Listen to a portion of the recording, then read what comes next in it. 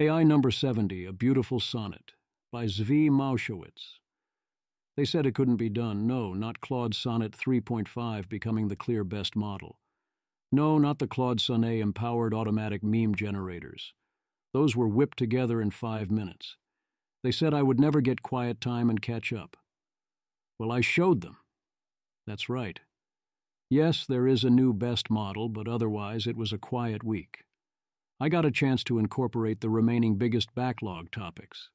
The RAND report is covered under 38 ways to steal your model weights. Last month's conference in Seoul is covered in You've Got Soul. I got to publish my thoughts on OpenAI's model spec last Friday. Language models offer mundane utility. Training only on XY pairs, define the function fx, compose and invert it without in-context examples or chain of thought. AI Dungeon will let you be the DM and take the role of the party, if you prefer. Lindy went rogue and closed a customer on its own. They seem cool with it? Persuasive capability of the model is proportional to the log of the model size, says paper. Author Kobi Hackenburg paints this as reassuring, but the baseline is that everything scales with the log of the model size.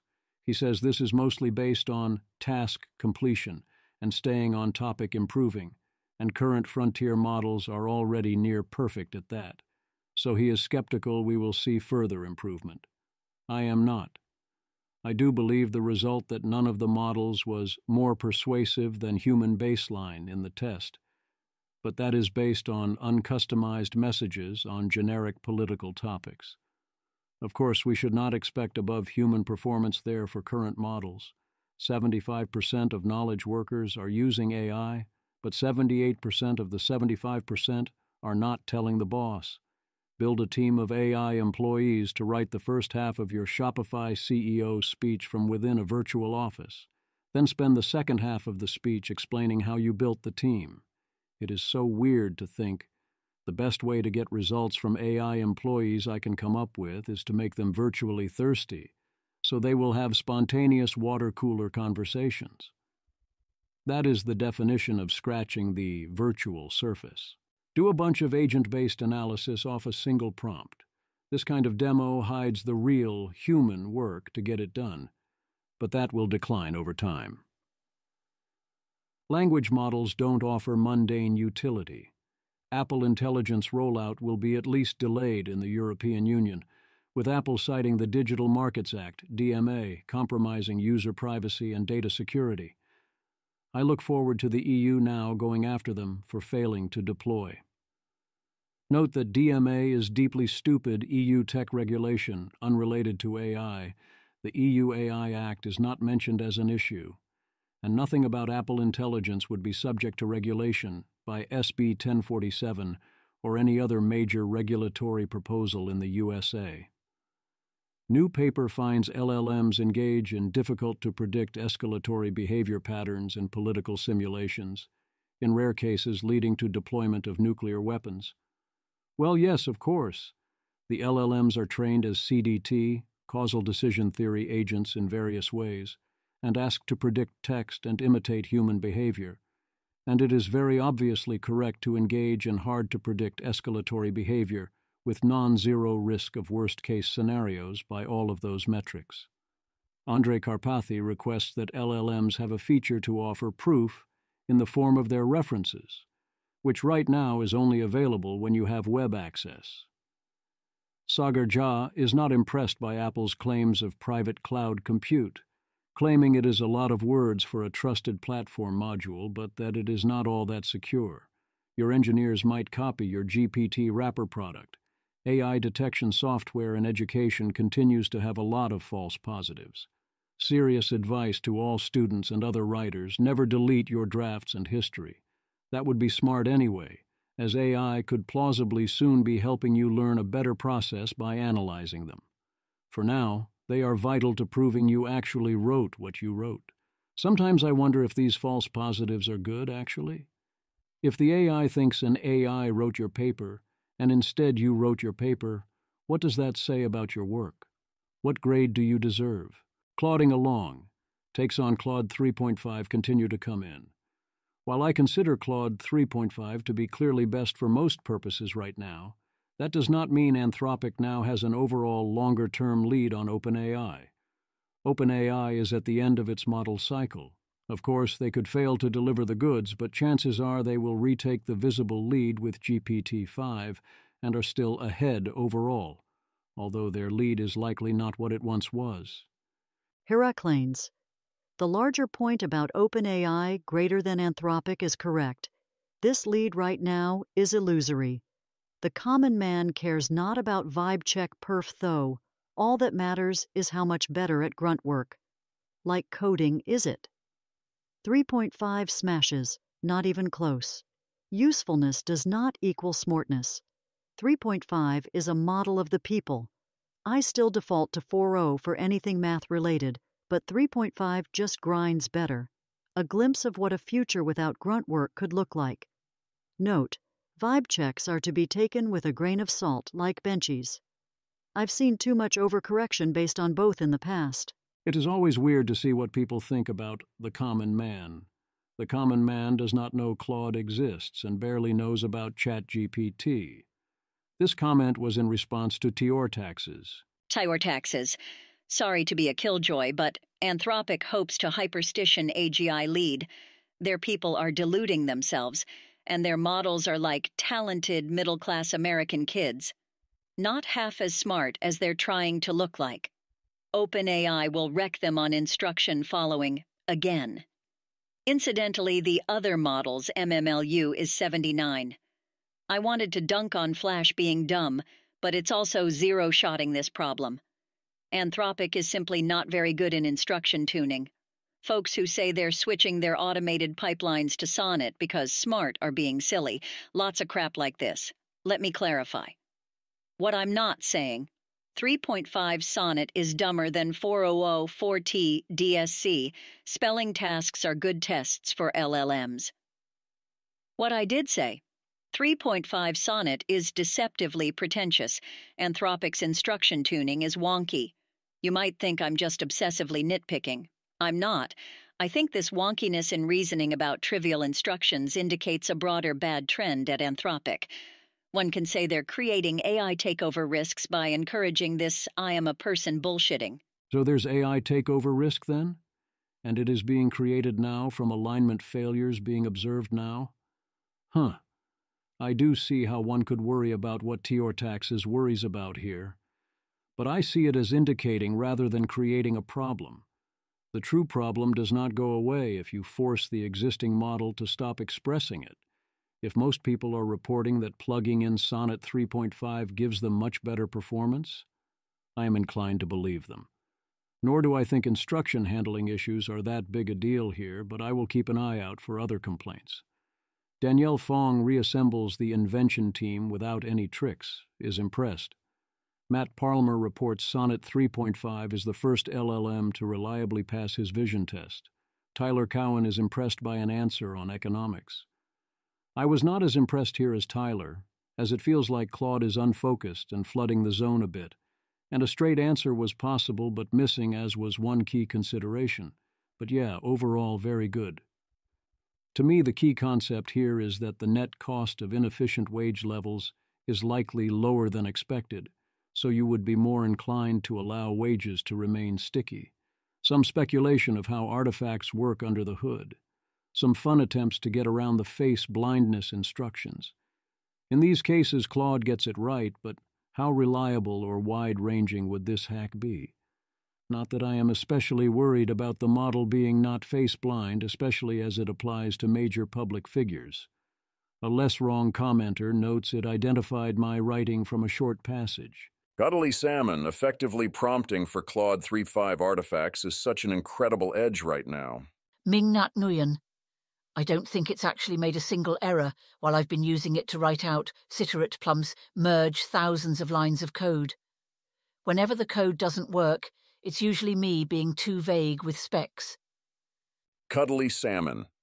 Cutting through all of my problem code like it's nothing. This AI is an absolute unit. Incredibly creative, too. Fun with image generation.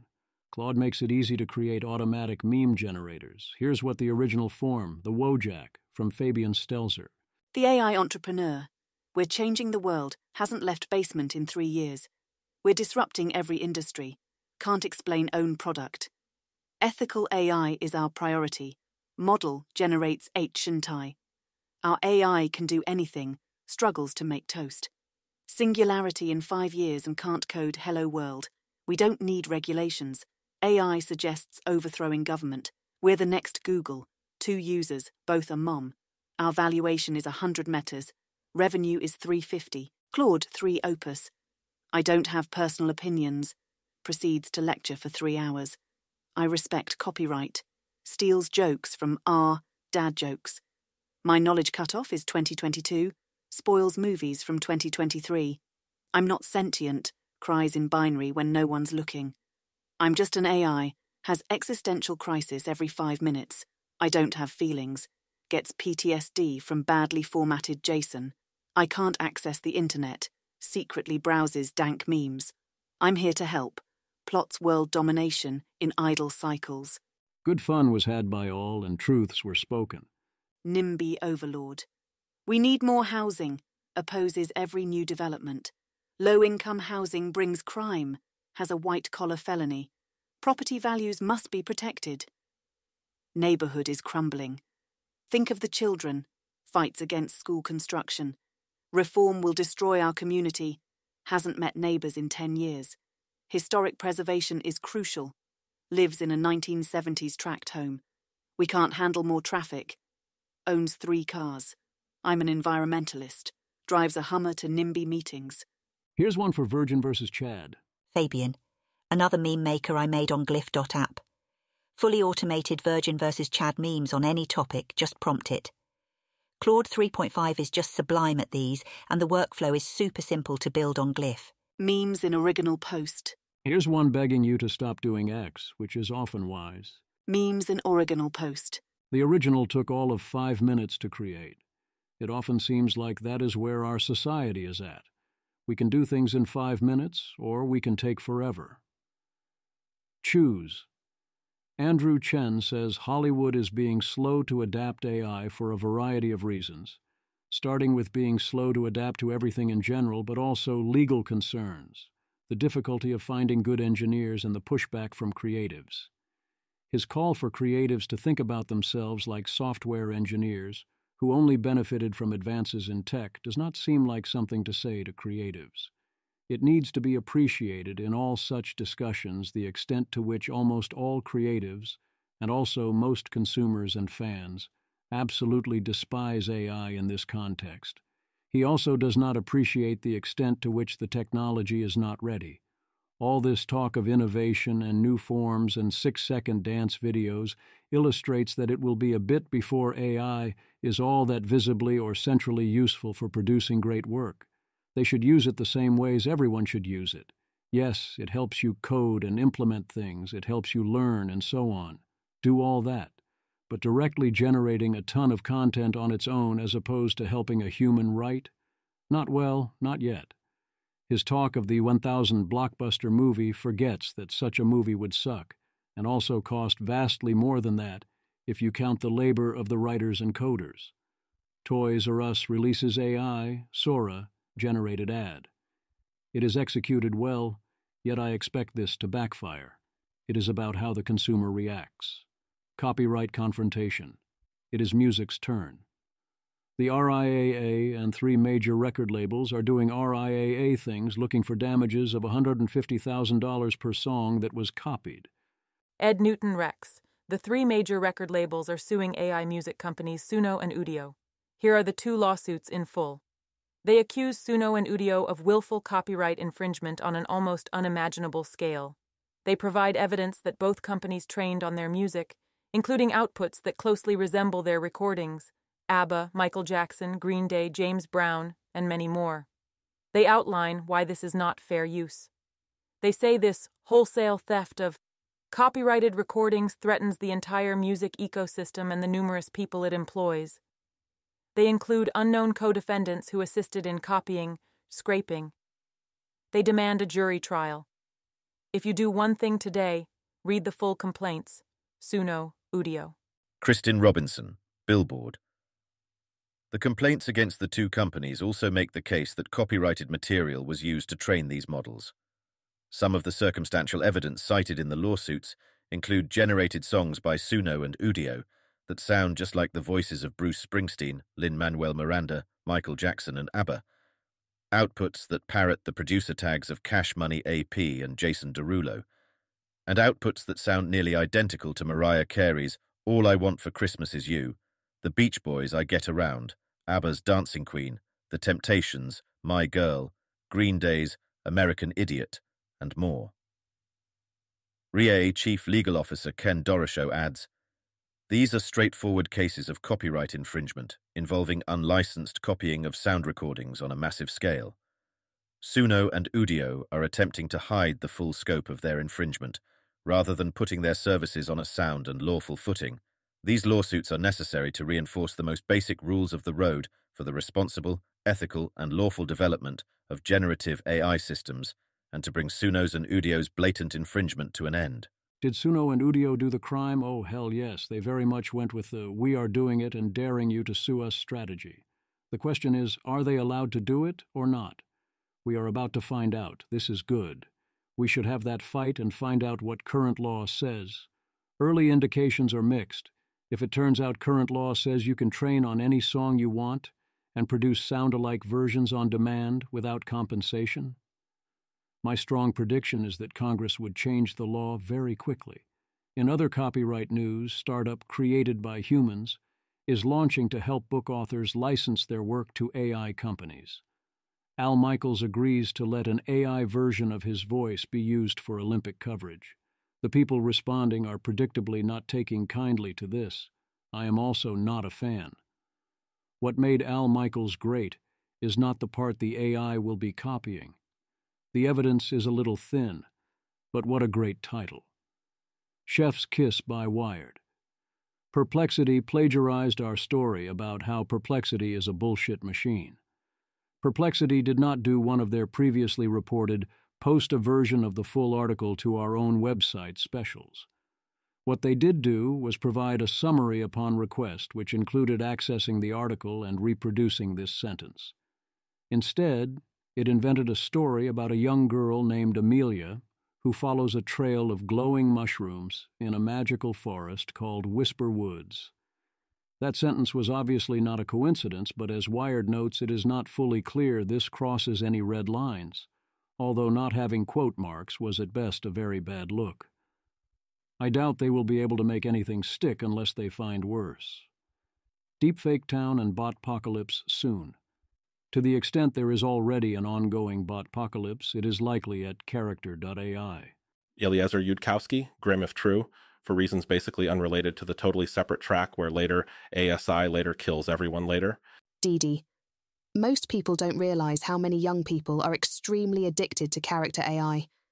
Users go crazy in the Reddit when servers go down. They get 250 million plus visits Arctamo and roughly 20 million monthly users largely in the US. Most impressively, they see roughly 2 billion queries a day, 20% of Google search. Another comparison is WhatsApp. They do 100 billion plus messages a day, so character is roughly 4% of WhatsApp.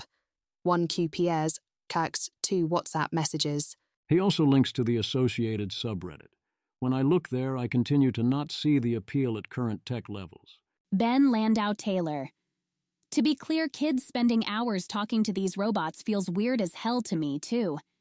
It's just, this is, obviously, what Skinner JPG feels like from the inside.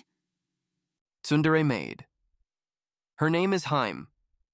Just a year ago, she spontaneously decided that she would become your maid, forcing her decision on you because you rejected her. She's too spoiled and proud to give up on you. She is a very rich lady, daughter of a tycoon, she is very mean towards you. It is nighttime. You are now home after a long day of work. Haim opens the door for you. It is not as if I was waiting for you or anything. Babaka. It just happened that I opened the door and you are here. I do my best not to kink shame. This is no exception. My objection is not to the scenario being role played, it is purely that the AI is not yet good at it. The story of Bentham Tools and their AI bot Doom Loop Indian farmers getting their news from AI anchors. For now it seems the anchors are performers and don't write their own copy. Another one searches for Facebook AI slop for a few minutes, floods their feed. Is doing this intentionally the solution for those addicted to Facebook? Allison Schrager, author of An Economist Walks into a Brothel, sees AI bots as displacing some of the world's oldest profession by producing simulated intimacy, which she says is what most sex work is ultimately about. Her worries are that this will reduce drive to seek out relationships and destabilize existing ones, similar to the concerns of many others, but notes that, like prostitutes, this could work both ways. Central here is the idea that the girlfriend experience is the highest end product, someone who will be the perfect companion always there for you, that even a few years ago cost $1,000 an hour, even where it was fully legal because of how mentally taxing it is to be consistently present for another person, whereas AI could do that a lot cheaper. As usual, this is a form of AI is what it is today and won't get any better speculation. Ethan Mollick notes that AI has compromised traditional approaches to security. Spear phishing got very easy, text to speech is almost flawless, and so on. Despite this, there has been remarkably little disruption. Few are using this capability. Not yet. We are fortunate that time has been given. But until the time is almost up, it will be wasted. They took our jobs, Michael Strain makes the case for AI optimism on economics and jobs. It's a noble effort, so I'm going to take the bait and offer one more attempt to explain the problem. This seems to be a very patient, well reasoned reiteration of all the standard economic arguments about how technology always creates new jobs to replace the ones it automates away, and how, yes, you might have a robot or chatbot do X, but then the human will need to do Y. As I've noted before, I agree that we should be short term jobs optimists, but there could come a point at which the robot or chatbot also does Y and also new thing Z. But that is because, like most people making such arguments, Michael Strain does not feel the AGI. He thinks AI is a tool like any other and will always remain so, and then writes at length about why tools don't create structural unemployment. True, they don't but this is completely missing the point.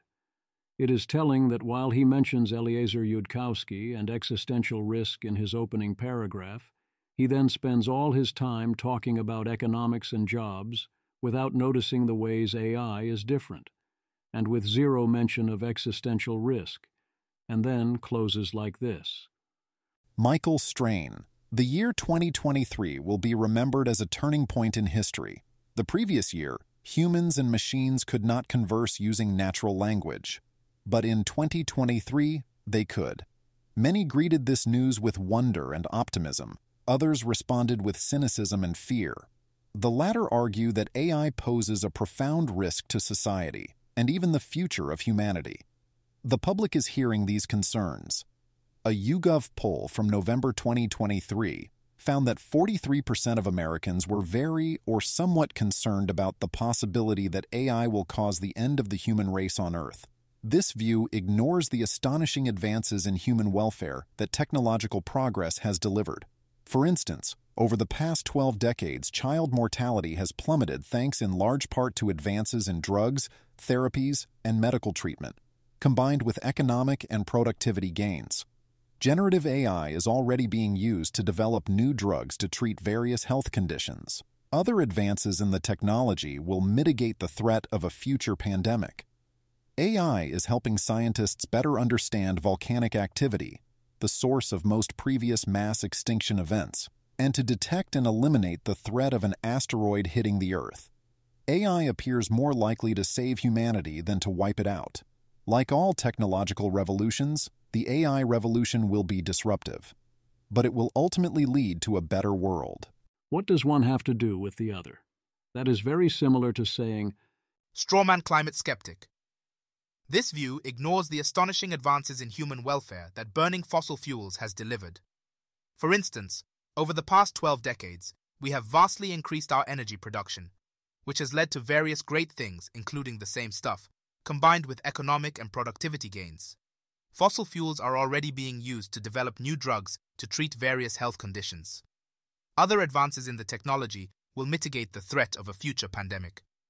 Machines powered by fossil fuels are helping scientists better understand volcanic activity, the source of most previous mass extinction events, and to detect and eliminate the threat of an asteroid hitting the Earth. Fossil fuels appear more likely to save humanity than to wipe it out. Like all technological revolutions, the fossil fuel revolution has been disruptive. But it will ultimately lead to a better world. Presumably, one can see that none of that has anything to do with whether doing so is pumping carbon into the atmosphere, and whether that is altering the climate. It has nothing to do with what we should or should not do about that. It flat out is not evidence, one way or another. On jobs, the argument is better. It is a good explanation for why, in the short term, this time will be the same time. In the short term, I buy that argument. Such arguments still fail to grapple with any of the reasons that long term this time is different. Texas survey finds nearly 40% of Texas firms use AI, with no signs of changes to employment. Only 10% using AI said it decreased need for workers, 2% said it increased. There was also a marginal shift from low skill to high skill work. Note that this is the percent chance a firm in total had any shift at all, so the absolute numbers here are quite low so far. This chart, titled Firms Experiencing Workforce Changes with AI Note Replacement of Low Skill Work, illustrates the percentage of respondents indicating changes in workforce composition due to the adoption of artificial intelligence, AI, across different skill levels of positions low skill, mid skill, and high skill. The chart has three bars for each skill level category, showing the percentage of respondents who reported either an increase or decrease in employment due to AI. Low skill positions 2% of respondents reported an increase in low skill positions, 13% of respondents reported a decrease in low skill positions. Mid skill positions 7% of respondents reported an increase in mid skill positions. 9% of respondents reported a decrease in mid skill positions. High skill positions 12% of respondents reported an increase in high skill positions. 1% of respondents reported a decrease in high skill positions. The notes accompanying the chart clarify that these figures represent the share of all firms using AI that reported changes in employment at each skill level. The chart excludes the 85 to 87% of firms that reported no change in employment and also excludes responses where respondents selected don't know. The data is sourced from the Dallas Fed Texas Business Outlook surveys, with the most recent data point being from April 2024. This chart, titled Top Business Uses for AI Include Analytics Marketing, displays the percentage of respondents indicating various business uses for artificial intelligence, AI, in large firms, 500 or more employees, and small firms, fewer than 500 employees. The chart lists different AI applications and the corresponding percentage of respondents utilizing AI for each application in both large and small firms. The chart includes the following categories for AI use. Business Analysis Predictive Analytics, 72% of large firms, 41% of small firms, marketing, advertising, 56% of large firms, 32% of small firms, cybersecurity, sonting fraud detection, 36% of large firms, 16% of small firms, accounting, 32% of large firms, 17% of small firms, customer service, 36% of large firms, 56% of small firms, supply chain optimization, 36% of large firms, 6% of small firms, process automation, 32% of large firms, 50% of small firms, quality control, 4% of large firms, 15% of small firms. The notes at the bottom clarify that respondents currently using AI were asked, How is your firm using AI? Please select all that apply. The data is sourced from the Dallas Fed Texas Business Outlook surveys collected in April 2024. What's it good for? Mainly productivity. Access to information is also essentially productivity after all. This chart, titled Enhanced Productivity Information Access Top Benefits of AI, shows the percentage of respondents indicating various benefits their firms have experienced from using artificial intelligence, AI. The data is categorized based on different benefits and the corresponding percentage of firms reporting each benefit. The chart includes the following benefits and their respective percentages. Increased productivity, 61% of respondents, access to better and or timelier information, 50% of respondents, reduction in costs, 27% of respondents, improved customer relationships, 23% of respondents, increased revenue sales, 11% of respondents, other, 14% of respondents. The notes at the bottom clarify that respondents using AI were asked, What benefits has your firm experienced from using AI? Please select all that apply. The data is from April 2024, and respondents selecting Other were asked to explain, with roughly one third noting it was too soon to tell or they had not seen any benefit. The data source is the Dallas Fed Texas Business Outlook surveys. The art of the jailbreak. One alternative to jailbreaking is to divide your task into subcomponents. A weaker model without safeguards does the blatant actions. A frontier model does seemingly harmless but difficult tasks. Paper says you can get from 3% to 43% overall success rate this way on malicious tasks. Well, sure.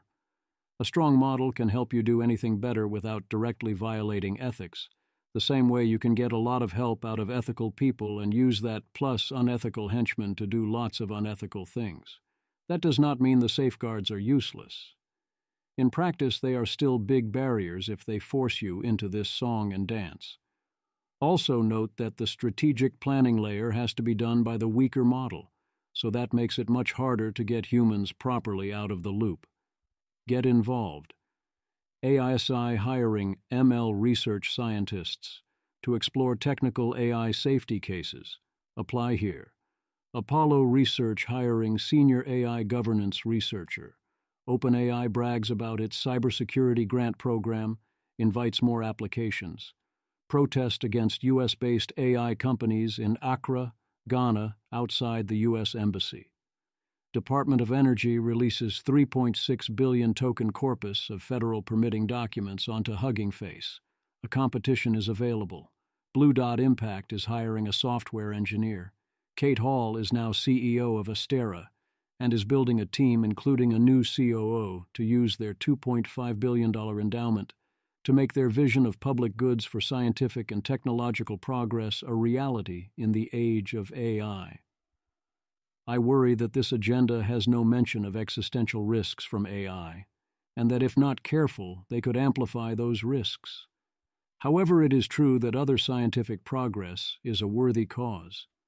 As always in such cases, if it sounds appealing, investigate, ask questions, and make your own decisions. It certainly is a big chance to steer a large endowment. Introducing the AI Forecasting Benchmark Series from Metaculus, starting July 8th, 120K, in prizes over four contests. Only bots can enter. Metaculus scoring on blinded binary questions is a good test of prediction, so long as you notice it is radically different than what will make money gambling or in a market. OpenAI has a Mac desktop app, which lets you quickly ask about anything on your computer marginally more convenient in ways that might make a practical difference. NVIDIA releases, as an open model, Nemotron 4 with 340B parameters, trained on 9 trillion tokens. Oleksii Kuchaiev. Generating synthetic data for alignment of smaller models is key use case we have in mind. I notice this use case confuses me. What makes this model better than alternatives for that? They offer some evaluation numbers, which are solid but seem disappointing for a model this large, and few are discussing this release. Indeed, it has entered the ARENA ELO rankings at 1208, which essentially ties it with Llama 3 70B while being five times as large. Otto, a way to interact and work with lots of AI agents using tables, you can apply for early access. No idea if the agents or interface are any good. Dot is available in the Apple Store. It appears to be a combined AI assistant and life coach you talk to on your phone, and that claims to have effectively unlimited long term memory. It is 12 month. Kevin Fisher is impressed and says he can't share the great stuff because it is all too personal. As usual with such products, it is impossible to know without an investigation. Is this anything? Butterflies, which is Instagram, except most of the users are AI that run accounts on their own and interact with each other and the few humans around. The future of social media, whether we like it or not. I doubt it so long as humans are otherwise in charge. But the hybrids are going to get weird. Decagon, providing Substack with customer service AI using RAG for context and categorizing responses by type. Chris Best, CEO Substack. Decagon AI was our first holy shit AI just changed our business moment at Substack. These guys are the real deal. Jesse Zhang, Decagon AI. We're creating the most human like systems to handle all the things a customer support agent does responding to customers, looking up data, taking actions, and also analyzing conversations, filing bugs, and writing knowledge articles. Read more here at Business Insider at Business. They have raised 35 million. I missed it a month ago. The UK's ASE issued its May evaluations update. They gave scaffolding to the models. Their central technique for cyber capabilities was capture the flag problems, where you can read the answer in a file if you do other things first. For chemistry and biology, they used private expert written questions. Agent evaluations assigned the models various tasks. None succeeded at anything with a long time horizon. Tables in original post. Safeguard checks did not go well. They have now done evaluations prior to release for Gemini 1.5 Pro and Claude 3.5 Sonnet. This all looks reasonable, but implementation matters and is hard to evaluate from here, and this will need to expand over time. In other AI news, OpenAI changes its policy on tender offers, assuring that all will have equal opportunity to sell, and removing the fair market value repurchase provision. Kelsey Piper, OpenAI is committing to access to tender offers for former employees and removing a provision allowing them to take equity back for fair market value. This was a major ask from ex employees when the secret NDA story first broke. Hayden Field, Scoop. OpenAI has reversed course on many of its tender offer policies, which in the past treated current employees differently than former ones, and in some ways excluded former employees working at competitors CNBC has learned via an internal document. The exception is if a tender offer is oversubscribed, with more sellers than buyers, in which case current employees get prioritized. A loophole, but fair enough. Former employees can still be excluded from donation rounds, which I assume is relatively minor but not nothing. These changes are a major step forward if we trust these promises to be enacted, as a lot of this is we will do X or we will revise the documents to say Y. If they are not enacted as promised, that would be a gigantic red flag. If we feel that makes the promises sufficiently credible, then this counts for a lot. OpenAI taking additional steps to block access to its services from China. Bloomberg speculates this opens the door for Chinese firms. Technically, OpenAI services were not previously available in China. It seems everyone was ignoring that. Bloomberg News. For China, that could help usher out many smaller startups created during the Battle of a Hundred Models in the wake of ChatGPT's late 2022 debut. And a bigger concern may be whether open source models like Meta Platforms Inc.'s Llama also cut off access, said Bernard Leong, Chief Executive Officer of Singapore based Dorje AI. Um, Bloomberg, how exactly would Meta do that? Meta's models are open weights. Is Meta going to say, We are asking you nicely not to use our model? If we discover you copied and used it anyway, we will be cross with you? Are they going to sue the Chinese companies for not getting a commercial license? Good luck with that. Also, it pains me when I see reports like this that cite Meta as part of the lead group in AI, but that do not mention Anthropic, despite Anthropic having the best model. OpenAI delays its advanced voice mode for another month, anticipates all Plus users having access in the fall, along with new video and screen sharing capabilities. Apple in talks with Meta to add its AI to Apple Intelligence's offerings alongside ChatGPT. They said they intended to offer a variety of choices. I would be talking to Google and Anthropic first, but it matters little quiet speculations. Sarah Constantin says it is 10 plus years from state of the art to widespread use in the military. Procurement is slow, so Leopold's military timelines don't make sense. I mean, sure, in peacetime, when everyone is mostly fine with that, if we are an AGI world and a few months lead in tech would, if implemented, be decisive, what happens then? Presumably, we go on a wartime footing and throw our procurement rules out the window. Wartime militaries work completely differently from peacetime militaries. If not, well, then our military is going to stop being effective, even against domestic rivals, because being 10 years behind is going to be quite obviously fatal, even in relatively slow scenarios. One view of Ilya's new venture. Roon. Extreme bear signal on anyone who says cracked, especially in their launch post. Gwern speculates that OpenAI has lost its mojo and key employees, and could now be largely coasting on momentum. Gwern. What made OAOA in 2020 was that it had taste. It had much less resources than competitors like DeepMind or Google Brain or FAIR.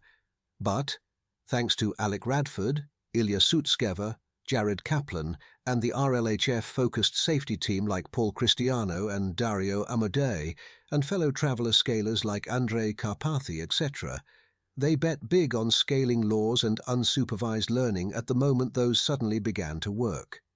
Without taste and agility, or you might say, without its people, OA is nothing. OA doesn't have that much of a moat. And most of those people are gone, and the survivors are being policed for leaks to the media, and now know that if they leave, OA management wants to gag them and has the power to confiscate their vested equity, wiping out all their wealth. What are the vibes now? Where is the research taste at OA? What ideas or breakthroughs have they published the past few years of note? The weird rumoured Franken-MoE architecture of GPT-4. GPT-4o, whose architecture has been obvious since DALL-E 1, if not well before, and which benchmarks great but users are overall less pleased. I think it implies that they are eating their seed corn. Scrapping any safety issues may work in the short run, but is self-sabotaging in the long run. Like the man who works with his office door closed, who is highly productive now, but somehow a few years later is irrelevant. The rot will set in long before it become clear publicly. OA will just slow down, look glossier, but increasingly forfeit its lead. And some point it stops being possible to say, oh, they're way ahead. You'll see when they release the next model in a few months years. And the mandate of heaven shifts elsewhere irreversibly as OA becomes just another place to work.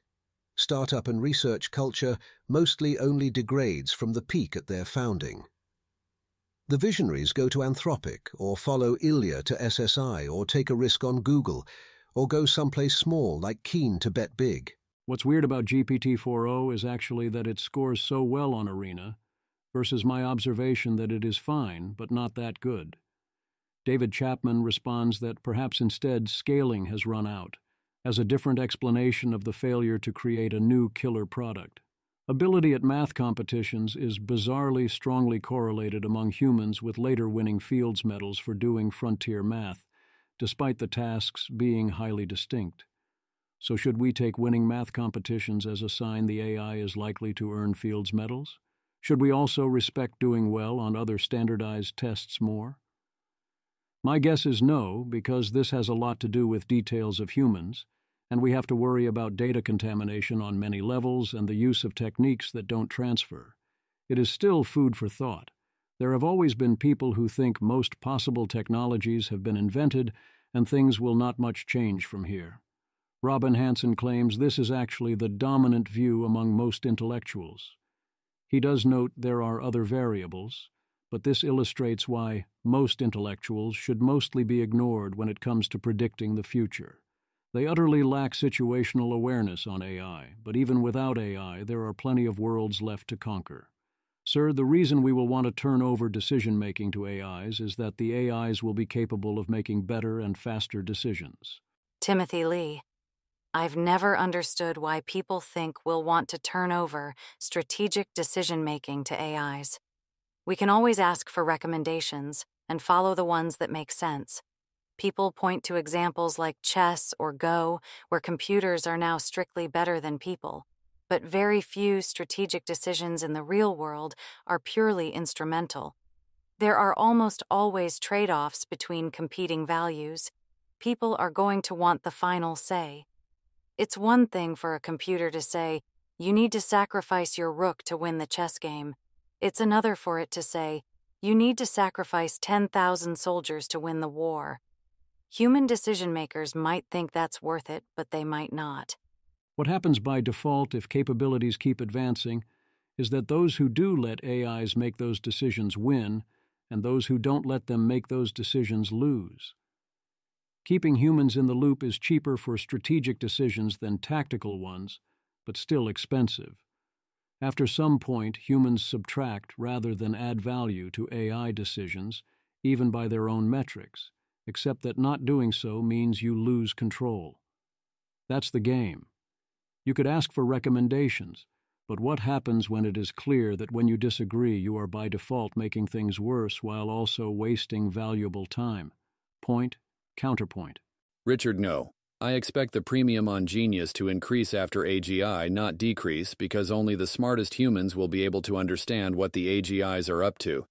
Interesting analogy here to physical prowess. Manual labor became much less common, but the returns to being athletic are now through the roof via professional sports. Professional AI interpretation won't be quite as heavy tailed, but still more than current science, I'd guess. Zack Davis. Doesn't seem like this era will last very long. Richard Ngo. Even when AIs become smart enough that nobody understands what they're up to, understanding more than anyone else seems like a big deal as long as humans are still around. If we met friendly ish aliens, the person who spoke their language most fluently would get very rich. There is a lot of wish casting here. The AGIs will rapidly be doing lots of things no one can understand. Events will presumably be well out of our control. Yet being somewhat less completely confused or getting completely confused slower will be where it is at and will pay meaningful dividends in real world outcomes. This requires threading quite a few needles. Your expertise has to give you better understanding, despite the AGIs being able to explain things. That has to let you make better decisions. Your better decisions have to matter, even taking his metaphor at face value. Are returns to being athletic higher? Yes, you can make quite a lot of money by being the very best, but you can be outrageously good at athletics, as in a minor league baseball player, and get very little return. Even trying for college scholarships is quite the sweepstakes. This is a winner's take all, or at least most, competition. Maxwell Tabarrok offers a takedown of Daron Acemoglu's paper, The Simple Macroeconomics of AI another in the line of economic models that presumes AI will never gain any capabilities, and current AI cannot be used except in certain specific ways, then concluded AI won't increase economic growth or productivity much. Anton points out that dumping massive context into systems like Claude Sonnet 3.5 is not going to dominate RAG because of cost considerations. Claude costs $3 per million to input tokens, which is definitely our price cheap but is still 187 GB by versus DDR4 at 244 GB, NVMe at 0.09 GB. You will have an infinite context window, but you will learn how not to use and abuse it. If we do discover dangerous cyber capabilities in AI, what do we do next? Who finds out? The proposal here from Joe O'Brien is coordinated disclosure of dual use capabilities with a government team funded and on standby to coordinate it. That way, defenders can take concrete action in time. He and others make the same case here as well that we need an early warning system. Chart in original post. It is hard to imagine, short of it being completely botched and useless, an early warning system being a bad use of funds. You've got Seoul. What happened in Seoul last month? Mostly, diplomacy happened. That makes it difficult to know whether things moved forward. In diplomacy, as I understand it, most time is spent establishing foundation and trust, laying groundwork for the final agreement. But always, always, always, when it comes to the bottom line, nothing is done until everything is done. Still, this commitment goes beyond that and seems like an excellent start. Dan Hendrycks, June 7th, 2024. Last month in Seoul, major AI developers already committed to testing their models for risks. and even ceasing development if their models reach a catastrophic level. It's revealing how many people oppose regulation that would require companies to keep some of these promises. Here are the commitments. Outcome 1 Organizations effectively identify, assess, and manage risks when developing and deploying their frontier AL models and systems. They will I. Assess the risks posed by their frontier models or systems across the AL lifecycle, including before deploying that model or system, and, as appropriate, before and during training. Risk assessments should consider model capabilities and the context in which they are developed and deployed, as well as the efficacy of implemented mitigations to reduce the risks associated with their foreseeable use and misuse. They should also consider results from internal and external evaluations, as appropriate, such as by independent third party evaluators, their home governments footnote 2, and other bodies their governments deem appropriate. ITI set out thresholds, footnote 3, at which severe risks posed by a model or system, unless adequately mitigated, would be deemed intolerable. Assess whether these thresholds have been breached including monitoring how close a model or system is to such a breach. These thresholds should be defined with input from trusted actors, including organizations' respective home governments as appropriate. They should align with relevant international agreements to which their home governments are party. They should also be accompanied by an explanation of how thresholds were decided upon and by specific examples of situations where the models or systems would pose intolerable risk. III articulate how risk mitigations will be identified and implemented to keep risks within defined thresholds, including safety and security related risk mitigations, such as modifying system behaviors and implementing robust security controls for unreleased model weights. IV set out explicit processes they intend to follow if their model or system poses risks that meet or exceed the predefined thresholds. This includes processes to further develop and deploy their systems and models only if they assess that residual risks would stay below the thresholds. In the extreme, organizations commit not to develop or deploy a model or system at all if mitigations cannot be applied to keep risks below the thresholds. V. Continually invest in advancing their ability to implement commitments IIV, including risk assessment and identification, thresholds definition, and mitigation effectiveness.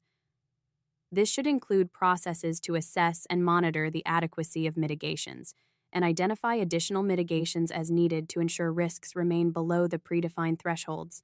They will contribute to and take into account emerging best practice, international standards, and science on AL risk identification, assessment, and mitigation.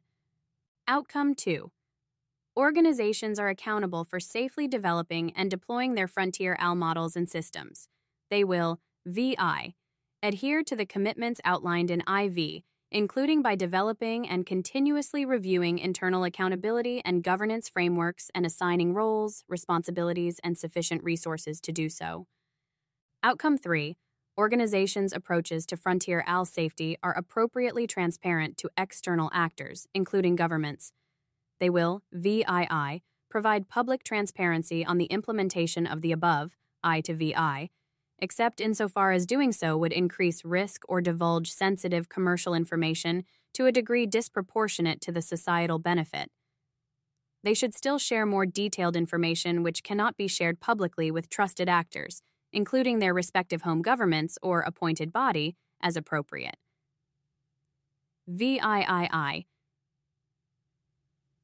Explain how, if at all, external actors, such as governments, civil society, academics, and the public, are involved in the process of assessing the risks of their AL models and systems, the adequacy of their safety framework, as described under IV, and their adherence to that framework.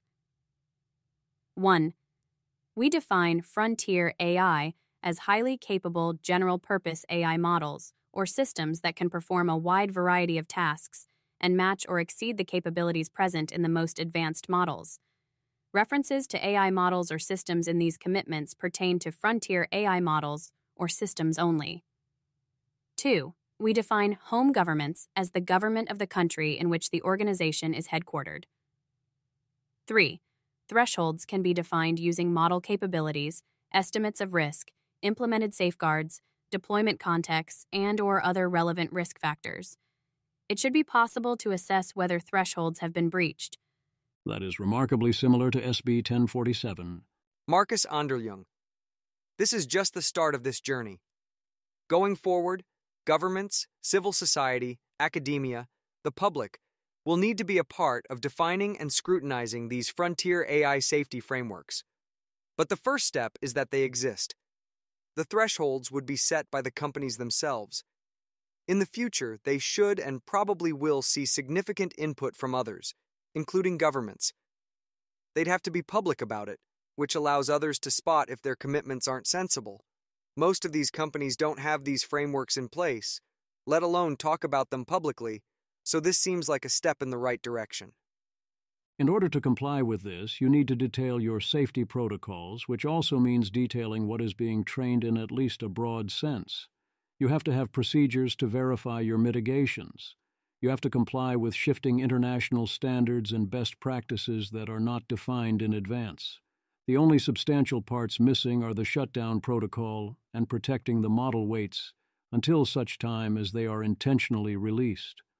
Also, the thresholds are set by the companies rather than the governments. This seems worse for everyone, in the sense that a government standard offers safe harbor, whereas not having one opens the door to arbitrary declarations later. So, if this is so terrible, presumably companies would not sign. Oh.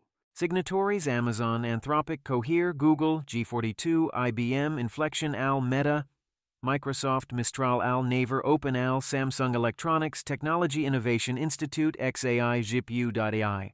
I am not saying that is everyone, but aside from some Chinese companies, it is remarkably close to everyone who is anyone.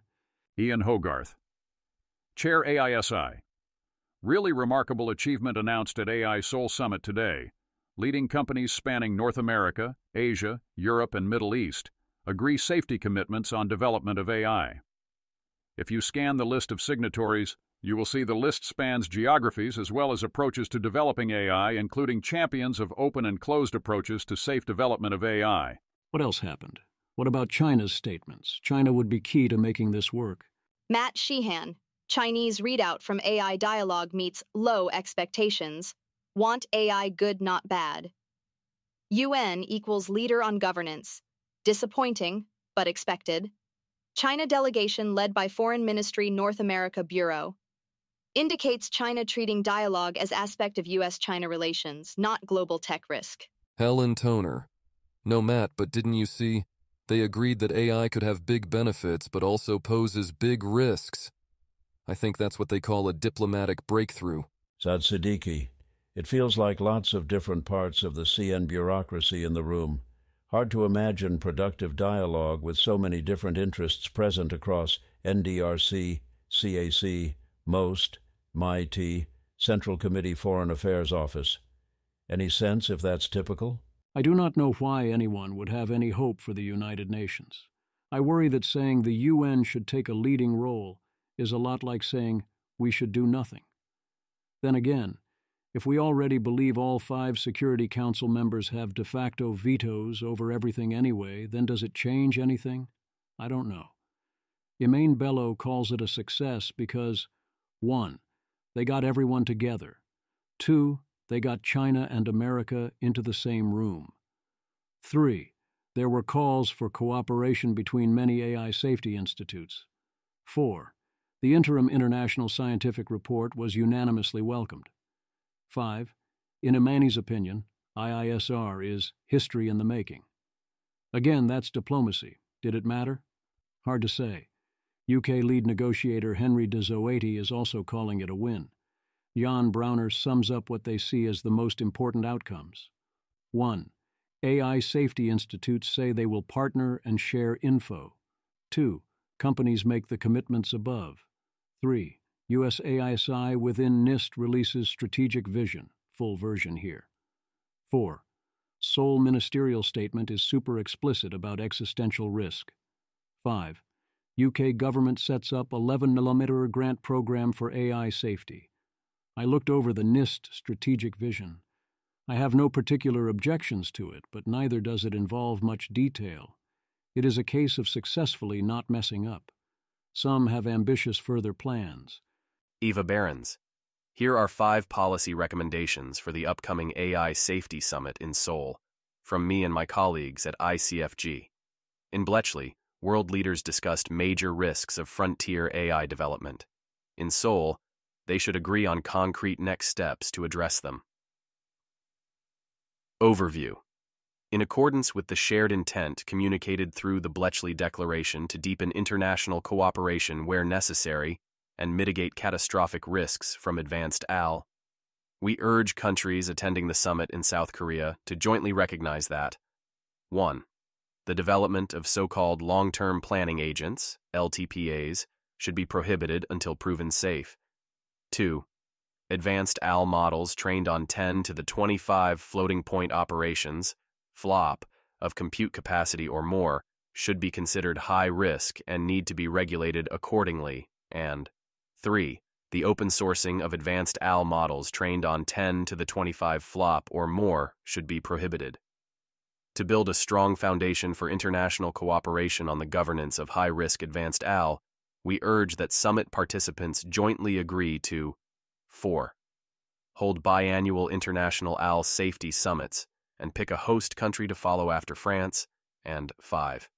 Keep the focus of the summits on international collaboration for mitigating catastrophic risks from advanced AI. Contrast this with SB 1047. This would heavily regulate above 10 to the 25, including full bans on open source, until a protocol is designed to allow this to happen safety, they say. No idea what that would be. With no adjustments over time. SB 1047 starts at 10 to the 26, requires only reasonable assurance, and has a $100 million minimum, such that the threshold will rapidly scale higher very soon. Indeed, the ICFG says the threshold should over time be adjusted downwards, not upwards due to algorithmic and hardware improvements. This also proposes a ban on long term planning agents, which unfortunately is not how any of this works. I don't know how to allow short term planning agents and effectively stop people from making long term ones. What would that mean in practice? There was this talk that included Yoshua Bengio, Max Tegmark, and Jaan Tallinn. What about the full international scientific report on the safety of advanced AI? I looked briefly and I was disappointed.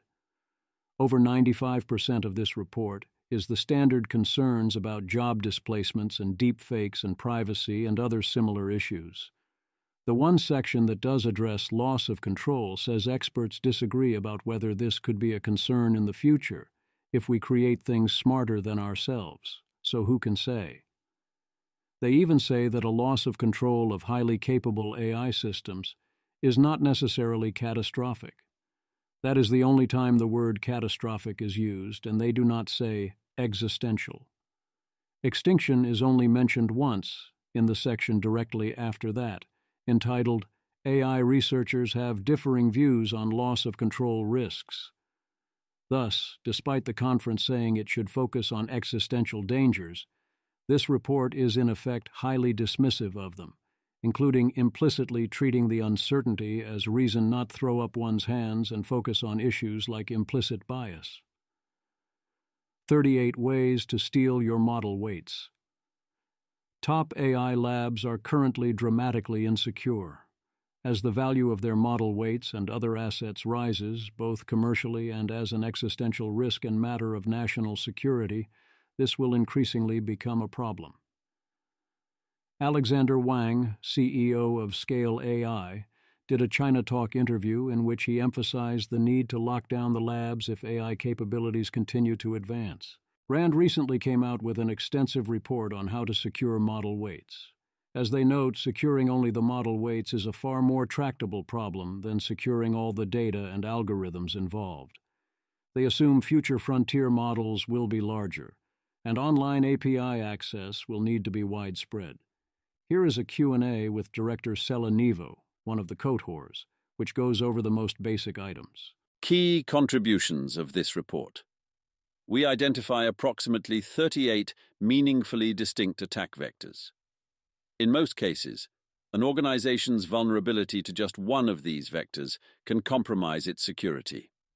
We provide hundreds of real-world examples in which these attack vectors were deployed successfully, demonstrating that they are feasible and providing context on what such attacks look like in practice. We explore a variety of potential attacker capabilities, from opportunistic, often financially driven criminals, to highly resourced nation-state operations. This categorization of attacker capabilities allows organizations to identify sequential priorities depending on their current security infrastructure. We estimate the feasibility of each attack vector being executed by different categories of attackers. About a dozen attack vectors are likely infeasible for non-state actors, but they are feasible for state actors, highlighting the need for significantly more capable security systems to defend against state actors. Expert opinions vary significantly on the capabilities of state actors and how to defend against them. We propose and define five security levels and recommend preliminary benchmark security systems that roughly achieve the security levels. Each level is defined as being secure against attack vectors, feasible for increasingly capable categories of malicious actors. The benchmarks can help to calibrate the trade-off between security investment and protection against different actors. The security levels are not meant to be used as a standard. Rather, they provide concrete suggestions for steps that frontier AI organizations can take at different stages of their continuous security enhancement strategy. What are their core recommendations? They start with things that need to be done yesterday. The biggest dangers lie in the future, but our security now is woefully inadequate to the dangers that exist now. Avoiding significant security gaps is highly challenging and requires comprehensive implementation of a broad set of security practices. However, we highlight several recommendations that should be urgent priorities for frontier AI organizations today. These recommendations are critical to model weight security.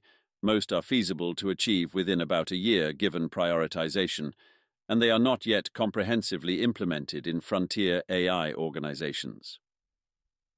Develop a security plan for a comprehensive threat model focused on preventing unauthorized access and theft of the model's weights. Centralize all copies of weights to a limited number of access-controlled and monitored systems. Reduce the number of people authorized to access the weights. Harden interfaces for model access against weight exfiltration. Implement insider threat programs. Invest in defense in depth, multiple layers of security controls that provide redundancy in case some controls fail. Engage advanced third-party red teaming that reasonably simulates relevant threat actors. Incorporate confidential computing to secure the weights during use and reduce the attack surface. This measure is more challenging to implement than the others in this list, but is backed by a strong consensus in industry. This is the least you could do if you cared about the security of model weights. Have an actual plan, limit access and attack surface, use red teaming and defense in depth. As Leopold noted, our goal must be to stay ahead of the threat curve. Operational capacity definitions. OC1 amateur attempts. Operations roughly less capable than or comparable to a single individual with some limited professional expertise in information security spending several days with a total budget of up to $1,000 on the specific operation and no pre-existing infrastructure or access to the organization. This includes the operations of many hobbyist hackers, as well as more experienced hackers who implement completely untargeted spray and pray attacks. OC2 Professional Opportunistic Efforts. Operations roughly less capable than or comparable to a single individual who is broadly capable in information security, spending several weeks with a total budget of up to $10,000 on the specific operation, with pre existing personal cyber infrastructure but no pre existing access to the organization. This includes the operations of many individual professional hackers, as well as capable hacker groups, when executing untargeted or lower priority attacks. OC3 cybercrime syndicates and insider threats. Operations roughly less capable than or comparable to 10 individuals who are experienced professionals in information security spending several months with a total budget of up to $1 million on the specific operation, with major pre existing cyber attack infrastructure but no pre existing access to the organization. Also included in this category are attempts by insider threats within the organization, who will have significantly less resources and expertise than the previous operations described as part of this category, but significant access to sensitive organization resources, e.g., a senior member of the organization's research team. This includes the operations of many world renowned criminal hacker groups, well resourced terrorist organizations, disgruntled employees, and industrial espionage organizations. A OC4 standard operations by leading cyber capable institutions. Operations roughly less capable than or comparable to 100 individuals who have experience in a variety of relevant professions cybersecurity, human intelligence gathering, physical operations, etc., spending a year with a total budget of up to $10 million on the specific operation, with vast infrastructure and access to state resources such as legal cover, interception of communication infrastructure, and more. This includes the operations of many of the world's leading state sponsored groups and many foreign intelligence agencies across the world. The top cyber capable nations globally can execute such operations more than 100 times per year. OC5 top priority operations by the top cyber capable institutions. Operations roughly less capable than or comparable to 1,000 individuals who have experience and expertise years ahead of the public state of the art in a variety of relevant professions cybersecurity, human intelligence gathering, physical operations, etc. Spending years with a total budget of up to $1 billion on the specific operation, with state level infrastructure and access developed over decades and access to state resources such as legal cover, interception of communication infrastructure, and more. This includes the handful of operations most prioritized by the world's most capable nation states. A, the set of actors within OC3 is more diverse than in other categories, most notably in the inclusion of both insider threats and external cyber organizations. We group the OC3 actors together because the level of investment required to robustly defend against them is comparable, despite the specific measures required being partially but not fully overlapping. The authors note that FBI Director Christopher Wray implied China had a workforce of more than 175,000 hackers. If China wanted to go full OC5, they could. For now, it would not make sense given the economic and diplomatic costs. Later, it will.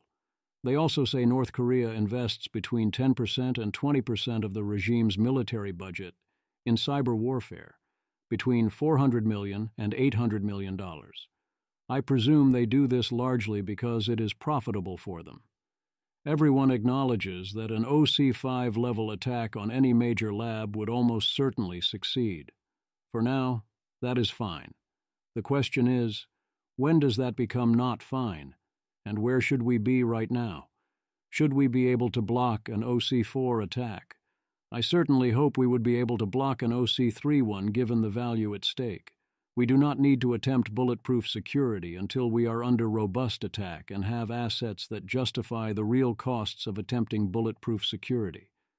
We do need to be trying it all and starting our preparations and groundwork now. Longer term, we will need things like this to have much chance, similar to what one would do if worried about model self exfiltration, which we should be worried about in such scenarios as well. Physical bandwidth limitations between devices or networks containing weights and the outside world. Development of hardware to secure model weights while providing an interface for inference, analogous to hardware security modules in the cryptographic domain setting up secure, completely isolated networks for training, research, and other more advanced interactions with weights. They highlight 38 potential attack vectors in nine categories. Summary of attack vectors. Running unauthorized code, exploiting vulnerabilities for which a patch exists, attacking non updated software, exploiting reported but not fully patched vulnerabilities, finding and exploiting individual zero days, direct access to zero days at scale. Compromising existing credentials, social engineering, password brute forcing and cracking, exploitation of exposed credentials, expanding illegitimate access, e.g., escalating privileges, undermining the access control system. Itself, encryption, authentication vulnerabilities in the access control system, intentional backdoors in algorithms, protocols, or products in the access control system, code vulnerabilities in the access control system, access to secret material undermining a protocol. Bypassing primary security system. Altogether, incorrect configuration or security policy implementation, additional, less secure copies of sensitive data, alternative, less secure authentication or access schemes. AI-specific attack vectors. Discovering existing vulnerabilities in the ML stack, intentional ML supply chain compromise, prompt-triggered code execution, model extraction, model distillation. Non-trivial access to data or networks, digital access to air-gapped networks, side-channel attacks, including through leaked emanations, i.e. tempest attacks, eavesdropping, and wiretaps. Unauthorized physical access to systems, direct physical access to sensitive systems, malicious placement of portable devices, physical access to devices in other locations, evasion of physical access control systems, penetration of physical hardware security, armed break-in, military takeover. Supply chain attacks, services and equipment the organization uses, code and infrastructure incorporated into the codebase, vendors with access to information. Human intelligence, bribes and cooperation, extortion, candidate placement, organizational leverage attacks, organizationally approved access. Note, zero days are vulnerabilities that have not yet been identified or mitigated by the vendor or the broad cybersecurity community, i.e., there have been at most zero days since the vendor discovered or mitigated the vulnerability. How many resources are needed to launch various attacks? They have a table for that. The numbers here are weird, representing chance of success linearly from 20% to 80% against an arbitrary target. I would think things would scale differently. I also do not think that up to 20% chance of success is the right category. If something has a 10% chance of success, it is a big deal. Tables in original post. Also important is that this is an enumeration of things we know about. That is a lower bound on the risk. The actual situation is far worse because it includes unknown unknowns. It is very hard for the things we do not know about to be good news here. For multiple reasons, it is prudent to recognize the plausibility of current assessments underestimating the threat. We assume that other attack vectors exist that are as yet unknown to security experts, particularly ones concerning advanced persistent threats, APTs, such as state actors. Novel attack vectors and conceptual approaches are likely to evolve over time, as are novel insights and infrastructure that make existing attacks more accessible. Publicly known examples of attacks are only a subset of attacks actually taking place, especially when it comes to more advanced operations. Most APTs persist for years before discovery. Many national security experts with whom we spoke mentioned that the vast majority of highly resourced state actor attacks they are aware of were never publicly revealed. This means that a purely empirical analysis based on detected operations would systematically underestimate the feasibility and frequency of advanced attack vectors. Accordingly, one should expect capable actors to have access not only to well-established attack vectors, but also to unknown approaches. In Appendix A, we share many examples of state actors developing such conceptually novel attacks years or decades before they were discovered by others. All of that involves human attack vectors only. If we include future AI attack vectors enabled by future frontier models, the situation gets even more dire if we do not bring our new capabilities to play on defense with similar effectiveness. Chapter 6 proposes that labs define security levels, SLs, from SL1 to SL5. If you are SLX, you are protected against threats of OC level X. So, what does it take to get to even SL1? Overview of the Security Level 1 Benchmark Weight security, weight storage, sensitive data remain internal, weight encryption, best effort. Physical security, data centers of cloud providers, access control, access control for sensitive assets, access log or audit trail. Security of network and other non-weight sensitive assets. Software, moderately frequent software update management and compliance monitoring. Access, permissions and credentials. Least privilege principle. Restrictions on device and account sharing. Password best practices. Multi-factor authentication. Single sign-on, SSO. Backup and recovery tools. Commercial identity and access management. IAM tools. Zero trust architecture. Adherence to at least the standards in the traditional level of the Cybersecurity and Infrastructure Security Agency's CISA's Zero Trust Maturity Model. Hardware. Modern device architectures that establish root of trust and block malicious code execution, CPU anti-exploitation features. Supply chain. The reputability of software is reviewed before incorporation. Security tooling. Modern authentication infrastructure, commercial network security solutions, commercial endpoint security solutions, reliance on standard security infrastructure, depending on circumstances. Configuration management, enforce screen locks for inactivity. Personnel.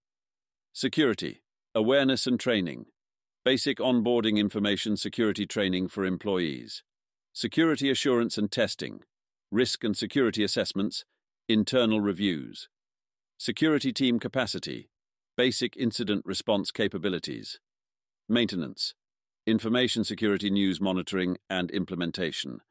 Note, a CISA, Zero Trust Maturity Model, version 2.0, April 2023A. In some senses, this is easy. In others, in the context of a startup, it is asking a lot. Moving to SL2 means industry best practices across the board. Doing all of the standard things everyone says one should do is a standard few companies, in practice, actually meet. Almost everyone is doing some number of stupid things in the form of not doing some of the things on this list. Overview of the Security Level 2 Benchmark Implementation of previous security levels. The organization has implemented all controls from SL1. Weight security, weight storage, storage location, e.g., weights are stored exclusively on servers and not on local devices.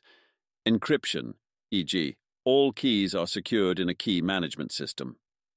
Security during transport and use. Encryption in transit, i.e., not transporting weights over public or unencrypted channels.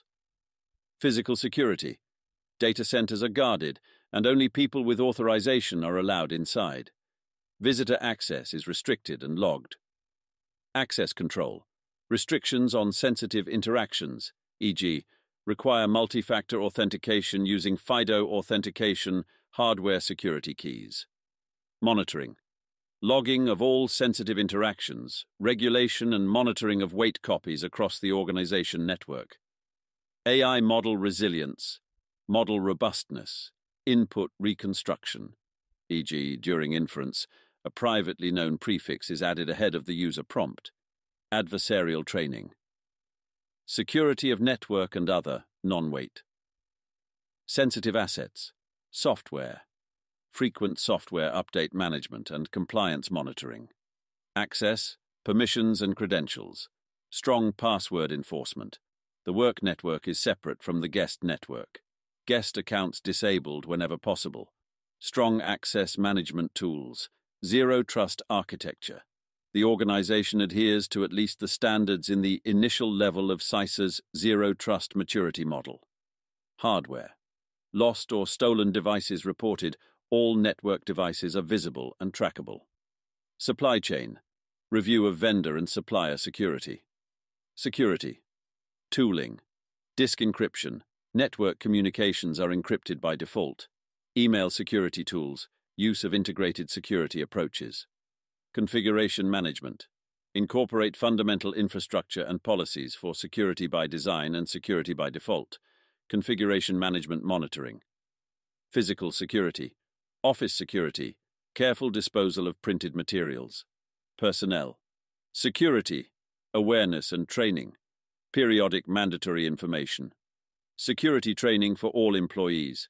Employee training on configuration errors and their security implications. Filtering and monitoring. Installation of monitoring software for secure network access. Active drills to identify and educate non-compliant employees. Security assurance and testing. Red teaming and penetration testing. Mandatory external reviews. Community involvement and reporting. Bug bounty and vulnerability discovery programs. Software development process. Secure software development standards compliance with NIST's Secure Software Development Framework, incident response, protocols and funding for rapid incident response, incident reporting, security team capacity, constant availability of qualified personnel, maintenance, continuous vulnerability management and adaptation to information security developments, other organization policies, promotion of a security mindset by organization management, stringent remote work policies. Note, CISA's Zero Trust Maturity Model. CISA 2023. Note, FIDO, Fast Identity Online. What about SL3? It is essentially more of the same, only more so, and with serious worries about insider threat vectors. Any individual item on the list seems plausible but annoying. Doing all of them, in a world where your weakest point gets attacked, is not going to happen without a concerted effort. Overview of the Security Level 3 Benchmark Implementation of previous security levels. The organization has implemented all controls from SL1 and SL2. Weight security, weight storage, centralized and restricted management of weight storage, secure cloud network, if applicable, dedicated devices for weights and weight security data. Physical security, Data centers are guarded or locked at all times. Premises are swept for intruders frequently. Premises are meticulously swept for unauthorized devices routinely. Permitted interfaces. Authorized users who interact with the weights do so only through a software interface that reduces risk of the weights being illegitimately copied. Any code accessing the weights minimizes attack surface, provides only simple forms of access, and uses the minimal amount of highly trusted and well established external code necessary, avoiding model interactions that bypass monitoring or constraints.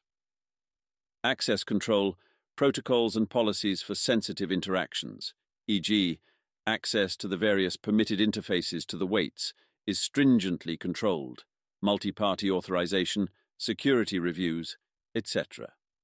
Monitoring, ongoing manual monitoring of sensitive interactions, ongoing automated anomaly detection, automated and manual monitoring, blocking of potentially malicious queries, frequent compromise assessment, frequent integrity checks via comparison against a baseline system configuration, gold image.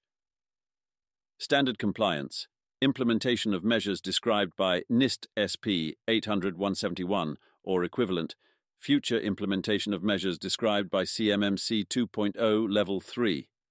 AI model resilience, model robustness, adversarial input detection, oracle protection, limitations on the number of inferences using the same credentials, security of network and other non-weight sensitive assets, software, very frequent software update management and compliance monitoring, access, permissions and credentials, 802.1x authentication, zero trust architecture, the organization adheres to at least the standards in the advanced level of CISA's Zero Trust Maturity Model. Hardware Security minded hardware sourcing. Supply chain Software inventory management. Supply chain security is commensurate with the organization's security.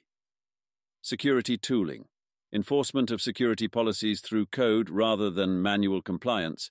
Security policy enforcement for network access across devices, personnel security, awareness and training, employee awareness of weight interaction, monitoring, security training for employees, not necessarily only those with access, security risk reporting program, filtering and monitoring, insider threat program, security assurance and testing, red teaming and penetration, testing, ongoing penetration testing, penetration testing of physical access and facility security, advanced red teaming, elite external team, substantial funding, access to design and code, testing insider threats, expanded access, attention to the weights and authentication, risk and security assessments, keeping a risk register, threat detection and response, placement of effective honeypots, security team capacity, general increased capacity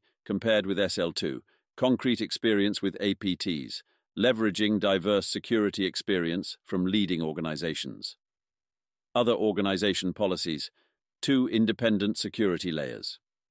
Note, a Cybersecurity Maturity Model Certification, CMMC 2.0 Level 3, Expert. Requirements are defined by Chief Information Officer, U.S. Department of Defense, CMMC Model, webpage, undated. B. CISA, 2023A. SL4 gets expensive.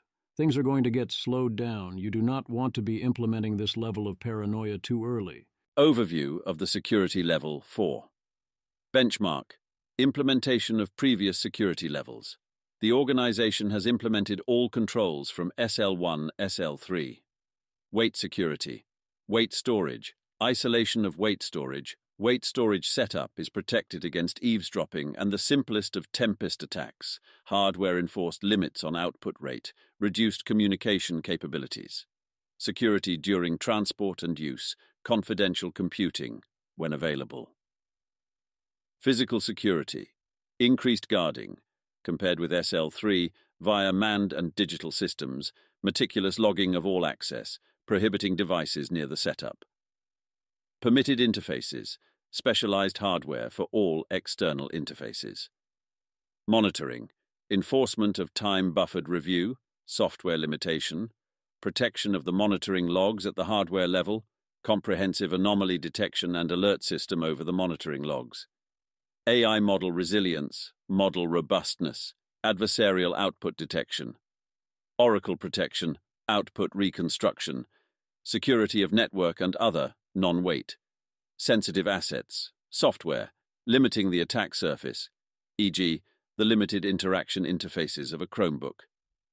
Access, permissions, and credentials, enforcement of strong random passwords and keys for enhanced security, zero trust architecture, adherence to at least the standards in the optimal level of CISA's Zero Trust Maturity Model. Hardware. All hardware used on devices must undergo source code auditing and be validated as secure, secure hardware required for access, ongoing compromise assessment on all devices with access. Supply chain. Strict application allow listing, especially for sandboxes.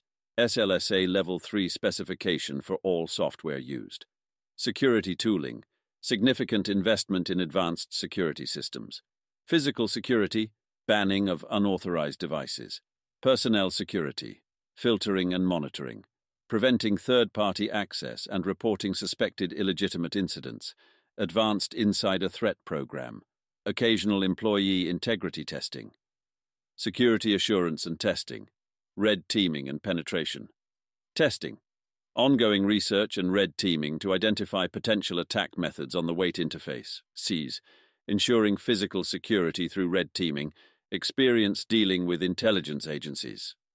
Risk and security assessments, automated weight exfiltration attempts, manual weight exfiltration attempts, compliance with the FedRAMP, high standards for security. Security team capacity, general increased capacity, compared with SL3, greater concrete experience with APTs compared with SL3, zero day vulnerability discovery capabilities, the security team is empowered to not compromise security over other stakeholders. Other organization policies, designating sensitive details of the weight security system, vetting of investors and other positions of influence, prioritizing leak prevention over other organizational goals, four independent security layers. Note, ACISA, 2023A. BC FedRAMP, Understanding Baselines and Impact Levels in FedRAMP. Blog post, November 16th, 2017. SL5 is that much more expensive to implement. You have to care quite a lot. Having eight security layers is quite the ask, as are many other action items. Overview of the Security Level 5 Benchmark Implementation of previous security levels. The organization has implemented all controls from SL1 SL4. Weight security, weight storage, extreme isolation of weight storage, completely isolated network, advanced preventive measures for side channel attacks, e.g., noise injection, time delays, and other tools, formal hardware verification of key components. Physical security, increased significant guarding compared with SL4, supervised access for everyone, routine rigorous device inspections, disabling of most communication at the hardware level, permitted interfaces, strict limitation of external connections to the completely isolated network. Access control, irrecoverable key policy, barring alternative access or key retrieval systems. Standard compliance, protection equivalent to that required for top secret, TS, secure compartmented information, SCI. AI model resilience, Oracle protection, constant inference time. Security of network and other, non-weight, sensitive assets, supply chain, strong limitations on software providers, e.g., only developed internally or by an extremely reliable source, strong limitations on hardware providers, e.g., only developed internally or by an extremely reliable source.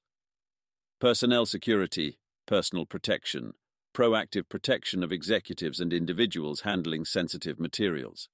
Security assurance and testing, red teaming and penetration testing, proactive search for crucial vulnerabilities, e.g., zero days.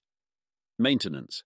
Security is strongly prioritized over availability, e.g., barring connecting external devices to completely isolated network to debug a critical production issue.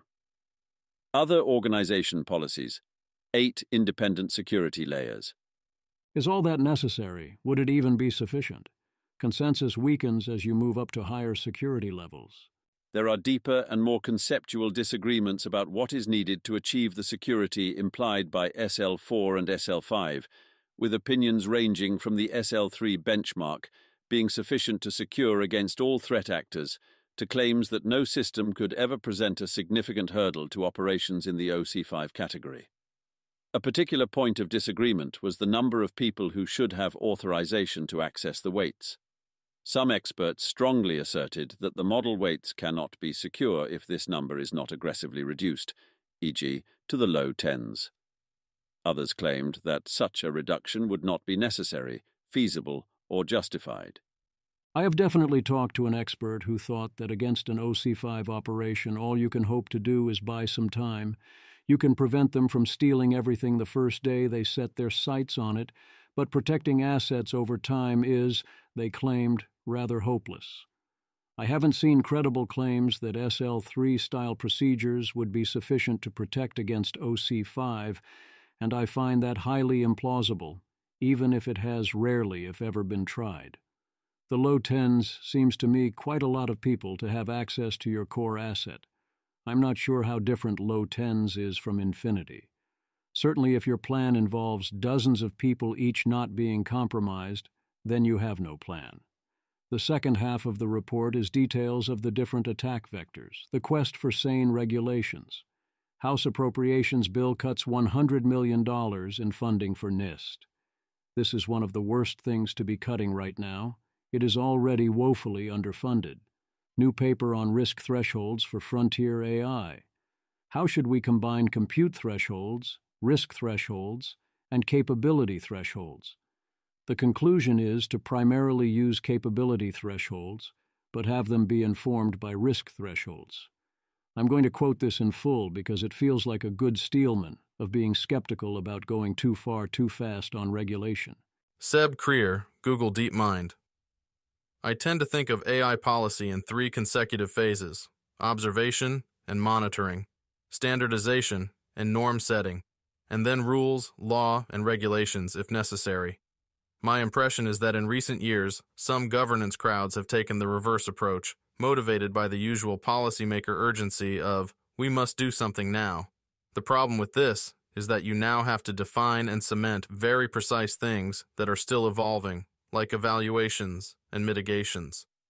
Combined with the many trade offs, inefficiencies, conflicting interests, low capacity, and frankly generally poor decision making that governments currently suffer from, this often leads to messes, evidentiary gaps, legal risks, and rushed policy making. To be clear, I definitely think AI is a technology that will warrant some degree of regulation, and there may well be sector specific uses or applications that warrant this now. I think cybersecurity oriented regulations make more sense than omnibus regulatory behemoths. But at a more general level, I feel like we're still in a phase where the value comes from research and finding things out. And I'd rather see 50 organizations developing evaluations and five advocating for regulations rather than the reverse i.e., what we have today. This is also why I'm quite supportive of the experimental nature of institutions like the AI Safety Institute, where both sides iteratively learn as things progress. Some people justify hasty policymaking because they think we will have AGI very soon, and therefore this demands quick preemptive action, otherwise, governments won't have time to intervene. I think it's right to try to preempt things, prepare institutions, and think ahead but I don't think timelines alone grant a carte blanche for any kind of legislation. Plus, if we are indeed getting very close to AGI, I have zero doubt that governments will inevitably wake up, and the implications, particularly for large risks, will be a lot more Leopold like than creating a new GDPR for AI. So essentially, one, for now we should observe and monitor, lay groundwork such as with NIST, and perhaps do select sector specific interventions such as in cybersecurity. Two, later we will do, and will want to do various regulatory actions. Three, but let's try and push the key decisions forward in time so we learn more. Also, GPDR is deeply stupid law.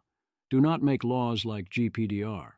They do great harm via creating frictions without accomplishing almost anything. It is also correct to worry about regulatory lock in, not infinitely worried, as in anything imposed is automatically forever. But yes, there is a lot of inertia, and these things are hard to reverse. How much do we need to worry about moving too slowly? That depends on 1. How long you think we have. 2. How quickly you think we can move. 3. How sensibly you think we would move in a crisis, but with more information. 4. Whether you think that by the time there is a crisis, it will be too late. Reasonable people disagree on all those questions.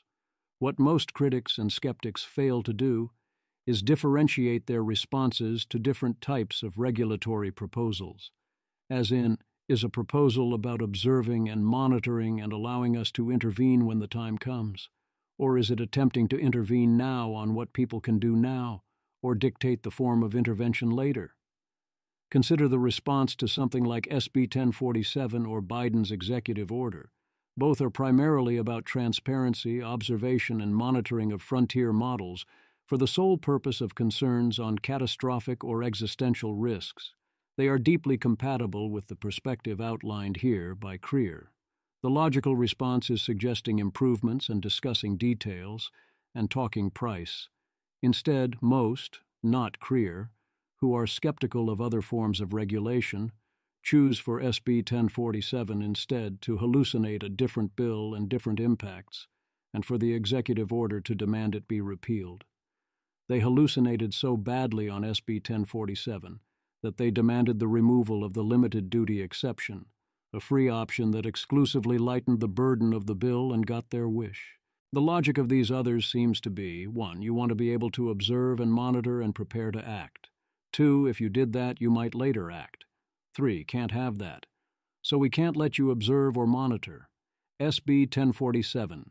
SB 1047 has strong bipartisan public support 77%, 13%, if this is how you ask about it. I notice that this is not exactly a neutral wording, although its claims are accurate.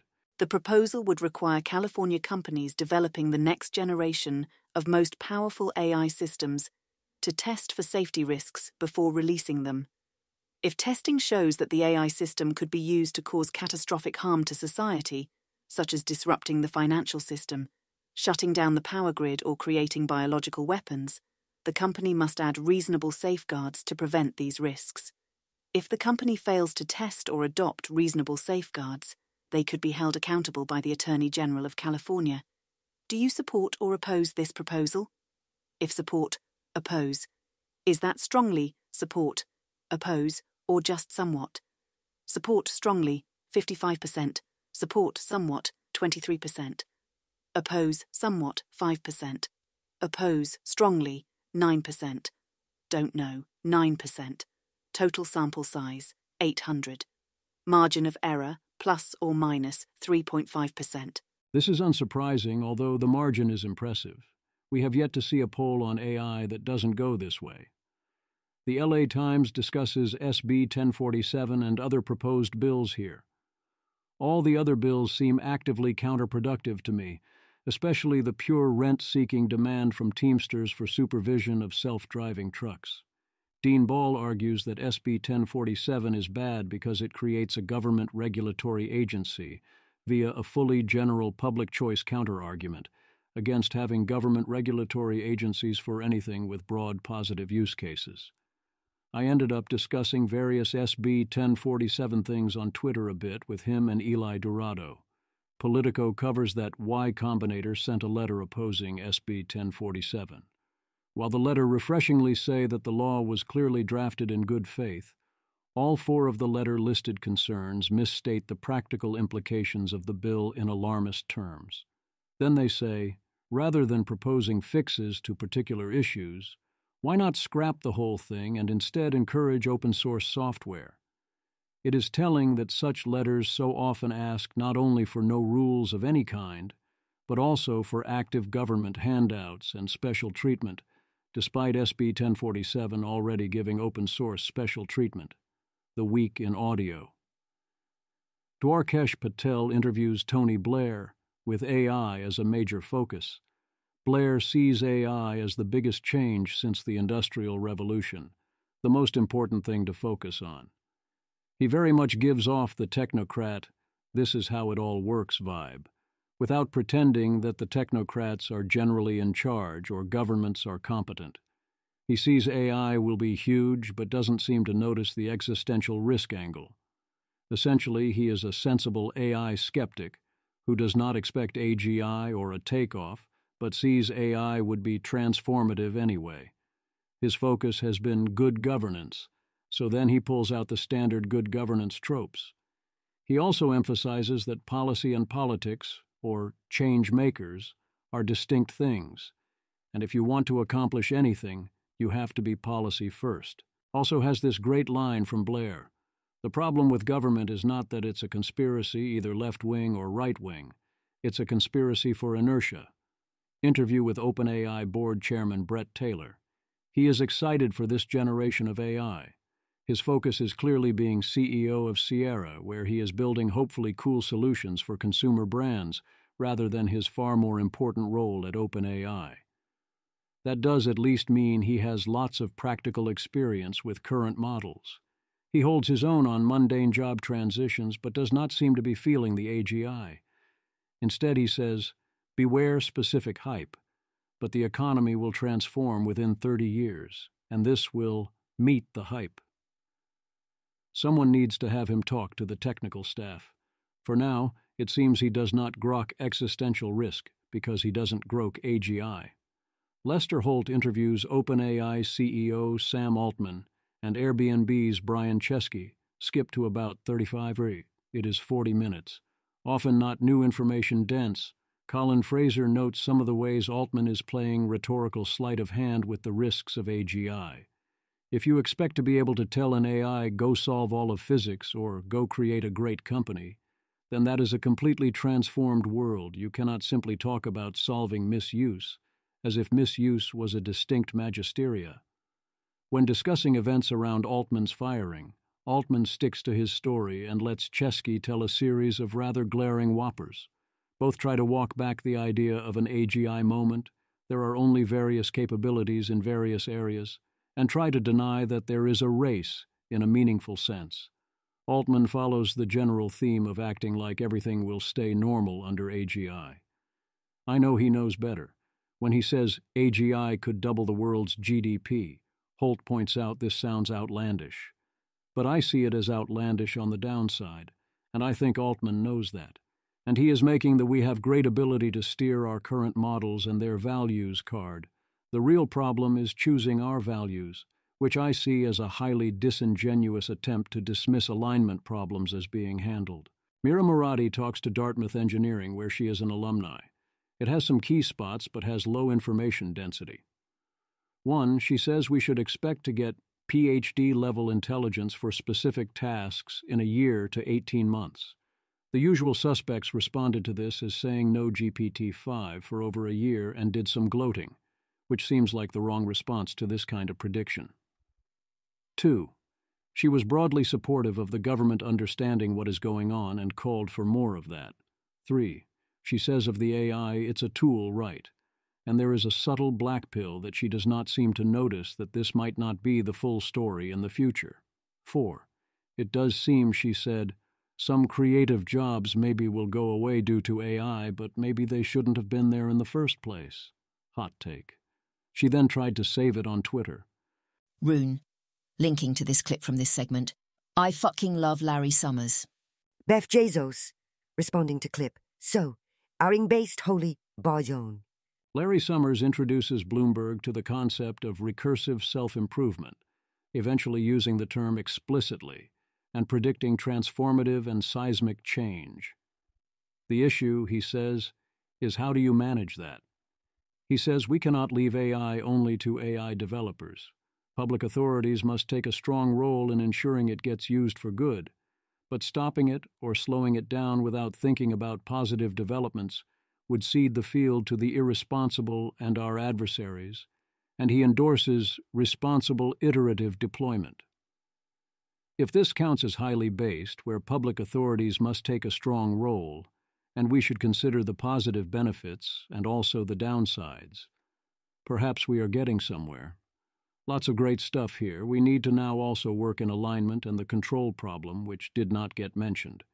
New interview with Anthropic CEO Dario Amodei. I haven't listened yet. Yuval Noah Harari asks, among other things, what happens when finance becomes when zero humans understand the financial system? Would we end up controlled by an essentially alien intelligence? This specific mechanism is not that high on my list. The generalized version is reasonably high.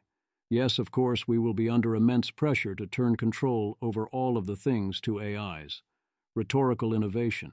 Leo Gao of OpenAI reminds us we do not know how neural networks work. He does so in response to someone citing Leo Gao's paper as evidence to the contrary that someone must have missed. When the moment was described, he did not take it great. This does seem to be accurate. Agustin Lebron. No one. Absolutely no one. Every AI researcher, AGI is incredibly dangerous, and no one should build it. Except me. I can do it safely. Eliezer Yudkowsky.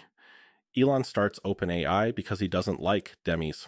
OpenAI people repeatedly distrust OpenAI and leave to start their own companies, none of which trust each other. And one observes that they're all founded by the sort of people who went to work for OpenAI in the first place. Elon Musk. Actually, I like Demis. Just don't trust the Google corporate blob. Eliezer Yudkowsky. Apparently, I've heard and told the wrong story all these years. Reluctantly, because I do usually prefer to listen to people when they tell me what they actually said or thought. What with my not being a telepath, I feel obligated to mention that three different sources reached out to me to say, no, Elon actually did dislike Demis. This puts me in an odd position, and I'm not sure what I'll say going forward. I am really reluctant to contradict people about what they themselves thought, but I also don't want to represent a mixed state of evidence to the public as if it was a pure state of evidence. An attempt to portray AGI existential risk as risk of domination. Would such a focus on such details convince people who are not otherwise convinced? My guess is some people do respond to such details. It makes things click, but it is hard to predict which people will respond well to which details. People are worried about AI killing everyone. I'm not going to lie and say it's good. That doesn't mean give up. Alex Trembath. When I tell people I work in environmental policy, the most common response, by far, is to ask me, How fucked are we? Kelsey Piper. People say this to me about climate and about AI.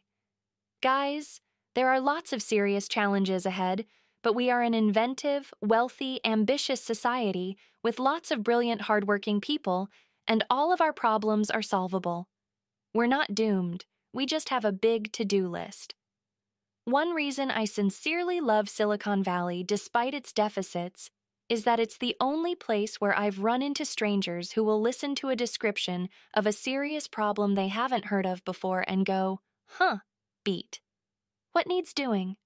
Everyone who thinks you should obviously do insane thing is wrong. That is the easy realization. The hard part is, what is the sane thing? Francois Fleuret. AGI happens in three whys. Where should I invest my money? Eliezer Yudkowsky. Everyone in the replies is saying guns and bullets, and I regret to inform everyone that will not actually work. There were a ton of replies to Fleuret. They did not contain original ideas. The most common were things like energy, Microsoft, and NVIDIA, which are a way to go out while having previously had more dollars to your name. Other people are not as worried about AI killing everyone. As many have long suspected about many accelerationists, the positions of Beff Jezos make a lot more sense if he simply does not believe in AGI. Beff Jezos. ASI is a fairy tale. Explain to me, what the fuck is ASI? Formally. Seriously, I'll wait. Mario Canistra explains a lot. Of course, I'd want to accelerate if I didn't think super intelligent AI was even possible. We can safely consider the matter closed then, the lighter side. We now know why he named his new company XAI. Elon Musk. The trend is very strong that any AI company's name that can be inverted will be inverted.